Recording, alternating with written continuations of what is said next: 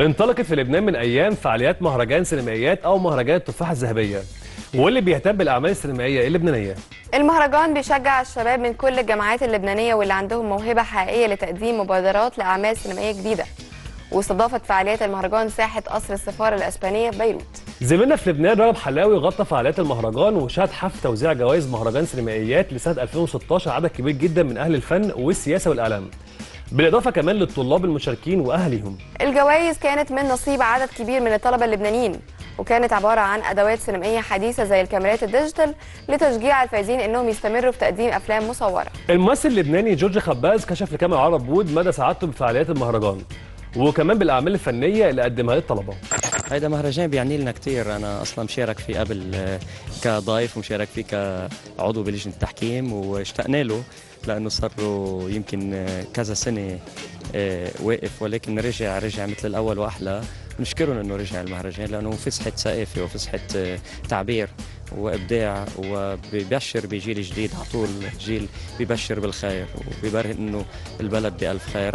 جورج خباز كشف لنا كمان عن أعماله الفنية الجديدة بالذات إنه مهتم جدا بالترويج للسينما اللبنانية في كل الدول العربية. عم حضر مسرحيتي جديدة ناطرة بتبلش بأول كانون الأول من مسرح شاتو تريانو. كمان عم حضر آه، فيلم جديد آه، إخراج أمين دورا إنتاج توكيز. نفس التريو تبع غدي من كتابتي وبطولتي. آه، إن شاء الله نبلش تصوير قريبا جدا. السينما اللبنانية تطور آه، كبير ملحوظ إن كان من ناحية الكم أو أو حتى نوع- نوعية. يعني أنا جدا فخور.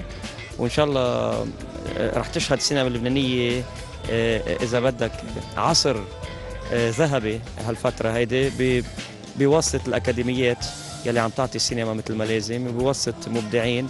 آه، بحاجة للتعبير من خلال هالأفلام.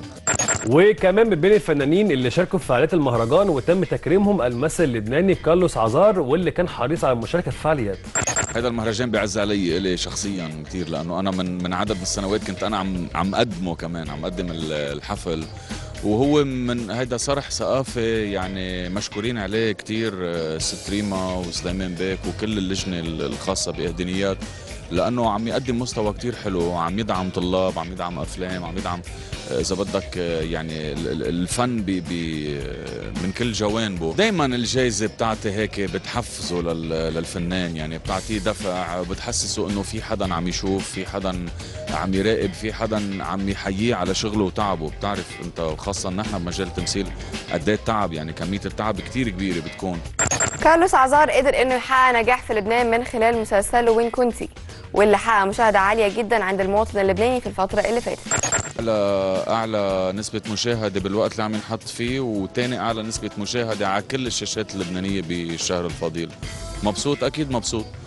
بس هذا الشيء ببرهن إنه أنت اليوم لما تعمل عمل جيد من كل نواحيه العالم بدها تحبه. اتضح إنه بلبنان العالم بتحب الدراما اللبنانية أكثر من غيرها بس مش معناتها إنه في معركة مش معناتها إنه في حدا انهزم وحدا ربح إنه هذا حديث منه منه كثير فني. أما مؤسسة مهرجان سينمائيات ريما فرنجية فكلمتنا أكتر عن المهرجان وعن فكرته والسبب من تاسيسه الفكرة كان بدنا نرجع ندخل على موضوع السينما ولقينا وين أفضل إنه نفوت على الموضوع من خلال الشباب. وكان اتصالنا مع كل الجامعات بلبنان اللي هن عشر جامعات اللي بيقدموا بيدرسوا تلاميذ السينما والإخراج. وطلبنا منهم يبعثوا لنا كل جامعة أفضل فيلمين عندهم. لحتى من هالأفلام نعمل نوع من مناف... من مباراة وننطلق منها للأفضل ومثل ما بيقولوا نمسك معهم ونفوت إن الله راد على العالم على خلق علاقات لهالافلام آه، ممكن مشاركات بمهرجانات برات لبنان لحتى نكون بداية آه، شيء حقيقي شيء واقعي. ريما فرنجية هي كمان مسؤولة عن مهرجان إهدانيات الدولي للفنون واللي هيقام في شهر يوليو اللي جاي في لبنان. سألناها عن المهرجان وكشفت لنا كمان عن النجوم اللي هيشاركوا فيه. راد السنة بنفتتح مع السيدة ماجدة الرومي ب 22 تموز. في عنا القيصر كاظم السهر في عنا ليلة مميزة كتير لاتينية مع طاقة رقص وطاقة كتير قوية. في عنا أوبرا مع كونشيرتو دي ستيلي في كتير في كمان مواهب لبنانية رح يكون في دعم لها بقى في كتير أمور. قابلنا كمان الممثل اللبناني باسم مغنية وكلمنا عن رأيه في فعاليات مهرجان سينمائيات السنة دي. وجودي هون هو لأنه بحس حالي بنتمي لهذا الشيء لعدة عناصر أنا ممثل وبدك مخرج. وبنفس الوقت هيدا المهرجان بالذات لأنه في كان تواصل قبل معه فأنا بحس حالي إنه جزء من هذا فكرمال هيك أنا وهذا شيء كثير مهم لأنه نحن صارت في عندنا نهضة بالدراما وبالسينما بحاجة لدم جديد ولناس جداد.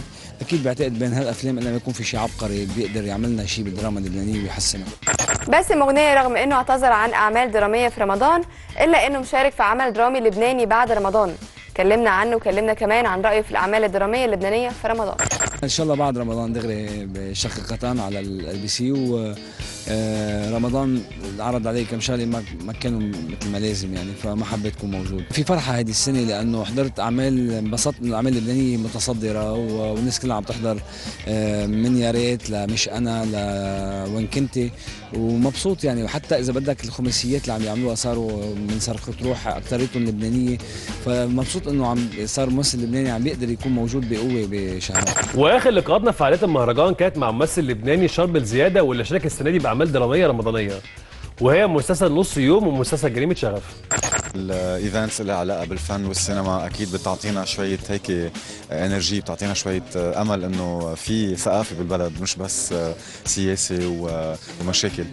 اللفتة حلوة من مهرجان السينمائيات ولفتة حلوة الأحسن من السفارة الإسبانية تستقبل هذا الشيء عندهم هون. دوري بنص يوم آه، هو آه، دور أساسي بينما جريمة شغف. أنا جاي ضيف شرف يعني بكم حلقة.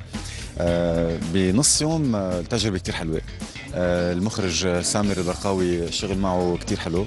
هيدا أول مرة بشتغل أنا وياه وتيم الحسن الفنان تيم الحسن آه، كمان شخص كتير لذيذ و- والتعامل معه كتير منيح و very professional نادين نجيم كمان وكل ال crew actually كتير منيح. أنا مبسوط بدوري لأنه الدور حلو والمبسوط أكثر فيه إنه الناس عم تحضروا مش بس بلبنان. يعني أنا عم بعرف feedback من دول عربية بيحكونا على الفيسبوك بتعرف أنت بال social media بيحكوا